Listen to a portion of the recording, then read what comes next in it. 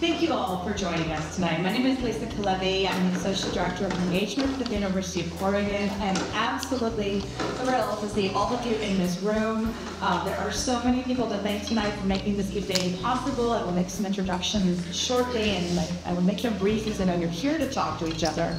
Uh, but what I really do want to say first and foremost is certainly welcome to our University of Oregon students. Yeah. Uh, thank you for being here, and I want you to know that all the folks you see in this room tonight are here for you. Tell us you don't belong.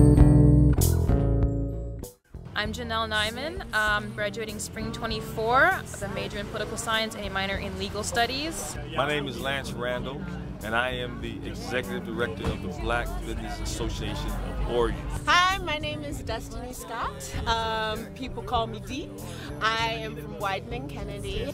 Uh, Jaden Gordon, um, public relations major with a minor in sports business.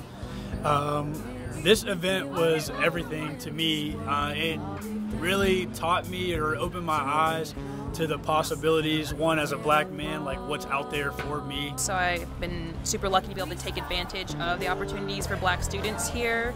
Um, events like this have been so beneficial for me to meet new people, to connect on LinkedIn, um, to stay involved with the alumni network, which I hope to be a part of as soon as I graduate. One thing I want to tell you is that the Black Business Association of Oregon is going to be in your corner while you're going through college and even after you get out of college, call on us because we want to support you. The main thing I want to tell you is be proud, be black, and be ready.